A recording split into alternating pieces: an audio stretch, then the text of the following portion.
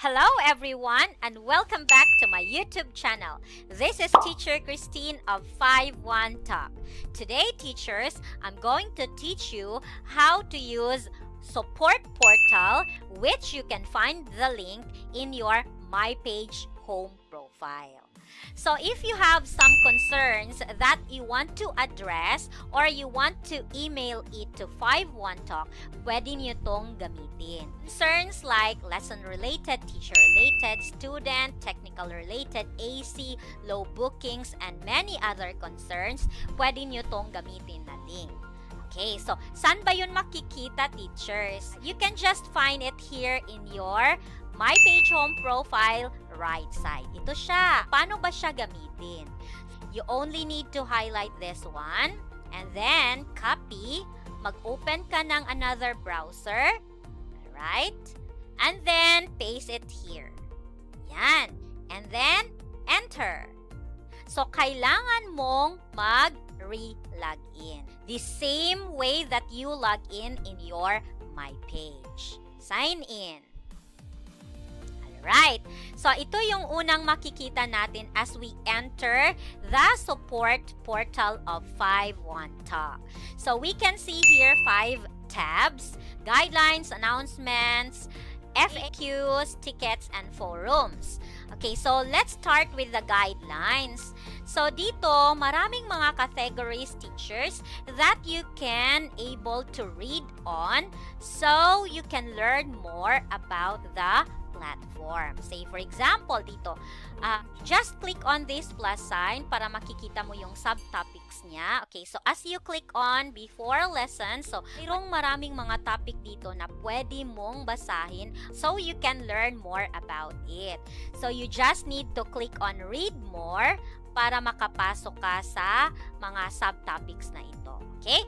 So again, find time to read on this particular categories because you will be learning more about this. Alright? Then we also have here announcements. So, pwede nyo rin itong makita doon sa dito, teachers.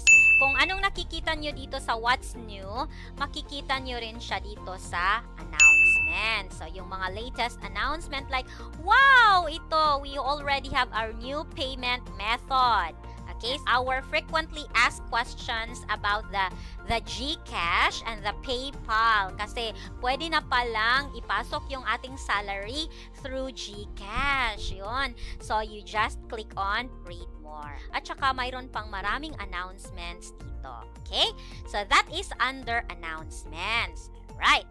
Now, let's go to frequently asked questions. Kikita natin yung mga frequently asked questions ng teachers like yung Talk Tarpaulin, nandito pala yung link. Uh, at saka marami pang iba like how to use the Grab lesson, lesson memo posting deadlines, and many more. So, let's now go to tickets because this is the main focus of our video today. As you click on tickets, kita mo tong create ticket. Una ko palang nagamit itong Create Ticket Teachers nung gusto kong i-update yung aking bank setting. So, aside from the bank setting we have in my page, gusto ko kasing ma-inform si 51Talk through email na nakapost na ako ng bank setting sa aking my page. Para talagang sigurado akong papasok na yung sweldo ko. So, paano ba to gamitin? So, we have here support type and concern. So, if your concern is about fee, fees, let's say mayroong kang lesson na hindi nagtatak ang payment doon sa lesson fee summary. So, pwede rin dito kayo sa under fees category. Okay, so as you click fees, uh, so you can see here submit ticket. What concern do you have related to your lesson fees? So, as you click on this, pwedeng bank information, pwedeng remittance concern, like mayroon kang klase na hindi nakatatak yung lesson fee doon sa lesson summary, so pwede ka dito sa remittance concern. Right? Then, main concern, you have to attach file. So, yung mga screenshot ninyo. Kung sa bank account naman, yung deposit slip. And then, total amount being disputed. So, like sa akin, yung accumulated lesson fee na gusto kong i-claim, yung inilagay ko dito. And then, send. Okay? So that is if your concern is regarding fees. Makakapasok ka dito, teacher. Okay? Now, what if hindi naman regarding fees yung iyong concern? So, we still have technical help desk. Under technical desk, mayroon ka namang pagpipilian AC issue, issue dispute follow-up, dispute validation. Hindi ko lang masyadong ma-explain ano to, teacher. But when you speak of dispute, you are claiming something you disagree or you are trying to discuss or you want to follow up something. Okay? Aside from technical desk, we also have home-based teacher lesson support. Yung related concerns naman dito mag-iiba. Ano ba yung concern mo? Is it about general concerns? Kasi kung hindi nakalagay dito, doon ka talaga sa others or general concerns.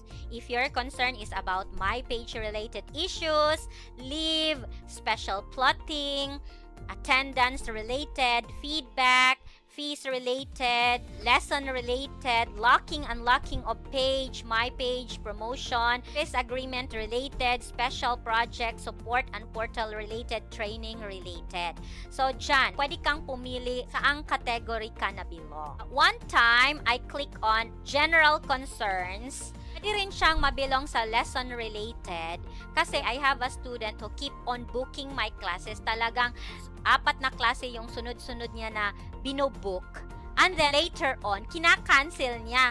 So, sayang masyado. There are potential students who want to book those slots pero hindi na sila makapasok dahil nga nakabook na siya. Na nagtitira lang siya ng isa kung minsan zero talaga. So, I really need to send my concern to 51 Talk.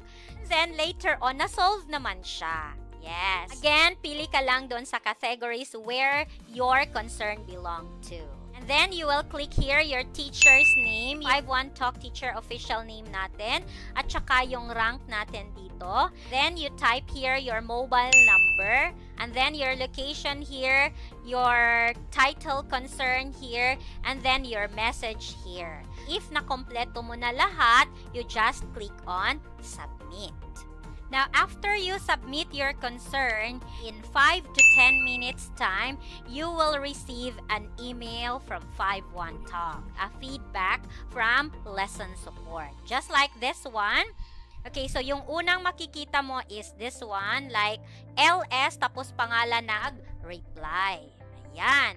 So, this is reply on 51 Talk support, reply on other general concerns, frequent cancellation of booking. So, kasi ito yung naging point ng aking email. So, yan yung kanilang naging reply sa akin. At saka, kung na-resolve na siya, they will send you another email saying, your ticket has been resolved. Okay, so those are all for today. Thank you very much for watching this video. I hope that you have learned regarding support portal link in your My Page Home profile. So, gamitin nyo na siya so you can able to email your concerns to 51Talk. Okay? So, find this video informative, please give it a big thumbs up. And of course, you can like and share this to others. And if you have not yet subscribed my channel, please don't forget to click on the red subscribe button and also hit on the notification bell so you will be notified whenever I have new video to upload. Thank you very much for watching this video.